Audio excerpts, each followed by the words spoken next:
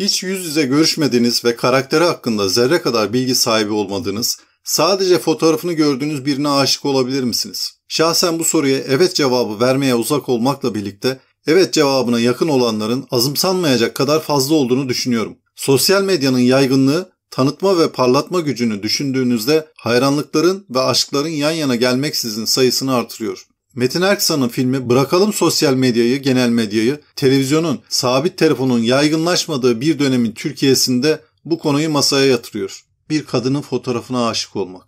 Yeni sinemanın inceleme merceği altında Metin Erksan'ın efsanevi filmi Sevmek Zamanı'nın incelemesi var. Abonelik ve beğenilerle katkıda bulunmanız dileğiyle. İyi seyirler.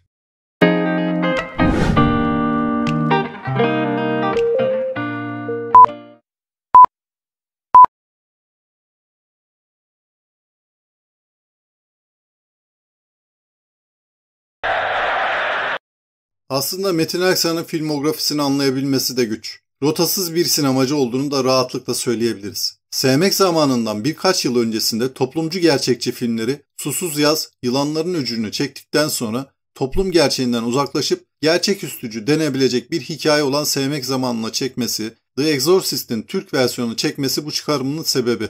Sevmek Zamanı soğuk, yer yer karanlık, ıssız ve kesinlikle melankolik muazzam karelerle başlıyor. Ve bu açılışla birlikte film sonlanana kadar görsel olarak her karesini mükemmel bir şekilde çerçevelemesiyle devam ediyor.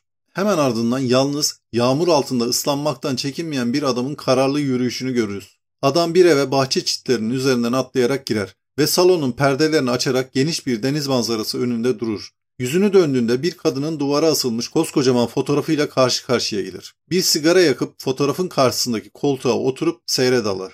Neden bu fotoğrafın karşısında oturup hüzünlenmektedir? Eski anıları mı aklına gelmiştir? Kaybettiği sevgilisi midir? Hayır. Bir sonraki sahnede üç tane kadın evden içeri girer. Aylardır bu adadaki evde kimsenin yaşamadığını söylediği ev sahibi kadın bir takım sesler duyar. Bu sesler nereden geliyor diye gidip baktığında az önce eve giren adamın fotoğrafı karşısında oturduğunu görür. Yakalanan adam hırsız değilim diye söze başlar. Utana sıkıla boyacı olduğunu, evlerin iç dekorasyonunu yaptığını söyledikten sonra oradan ayrılır. Fakat kadın adamı unutamaz ve onun çalıştığı köşeye girer. Bir anda köşkün boya yapılan salonunda kadın belirir. Adamı sorar ve arkadaşı onun pazara öteberi almaya gittiğini söyledikten sonra onun kadının fotoğrafına aşık olduğunu bir anda açıklar. İçeriğin başında sorduğum görmediğiniz sadece fotoğrafına bakarak bir insana aşık olabilir misiniz sorusunun ötesinde sevmek zamanında bu aşk ete kemiğe bürünüp karşılıklı olabilme gerçeğine dönüşecekken adamın bunu ısrarla elinin tersiyle itmesiyle bugüne kadar yapılmış bütün aşk filmlerinden ayrılıyor. Ve sevmek zamanında aşkı kavuşmak olarak değil, uzaktan sevmek, gerçeklik değil, insanın aklında yarattığı bir hayal gücü, bir imge olarak özetliyor. Adamın fotoğrafa bakarken ne düşündüğünü, hayal gücünde nasıl bir aşkı düşlediğini bilmiyoruz. Yalnızca bir sahnede neden etek kemiğe bürünmeyen bir aşk olduğunu, bunun acı çekmek istemediğiyle ilgili bir sebep olduğunu söylüyor.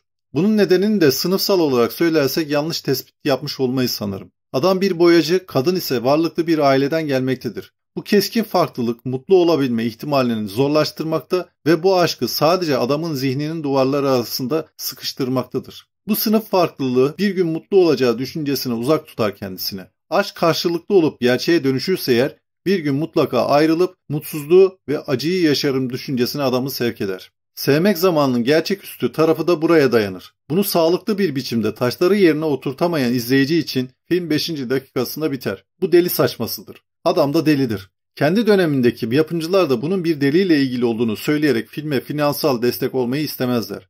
Eğer ki tırnak içinde bu deliliği kabul edip tıpkı Meral'e aşık olan adamın aşkını içselleştirdiği gibi siz de onun yaşadıklarını içselleştirirseniz ve filmi izlemeye devam ederseniz Metin Erksan filmin sinematografisiyle her sahnede, her planda sizi ödüllendiriyor.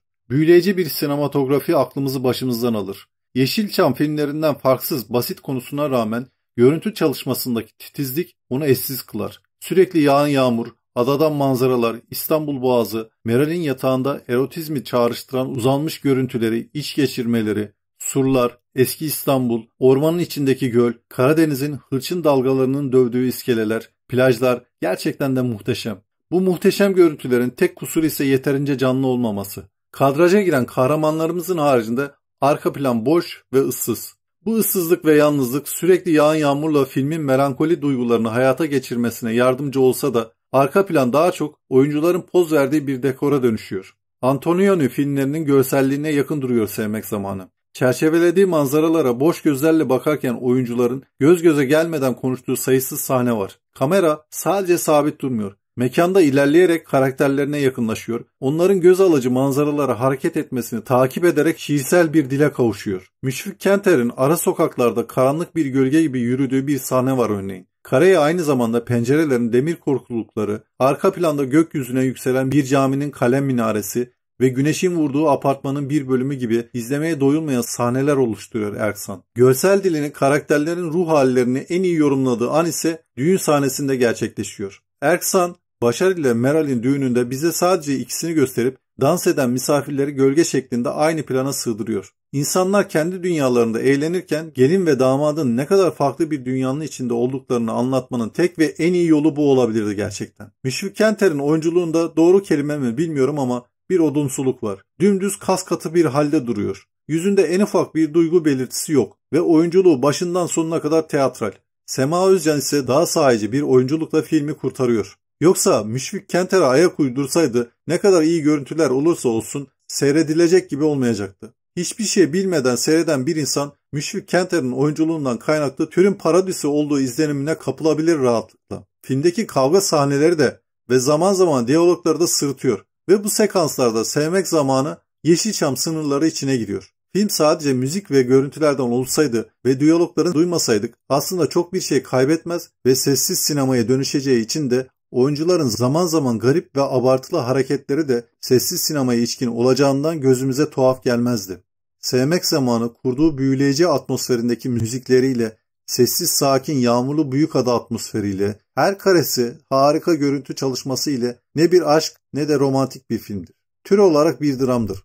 Onu Yeşilçam sinemasıyla birleştiren yönleri olduğu gibi Yeşilçam'dan ayıran temalarında ise aşkın katmerli bir delilik hali olduğunu göstermesidir. Kişinin kendine ait bencil tutumlarından dolayı gördüklerini de görmezden gelmesine yorabileceğimiz sanrılar dünyasının oluşturduğu bu aşk ölümcül bir tümör olarak sinema tarihinde yerini hakkıyla almıştır sevmek zamanı.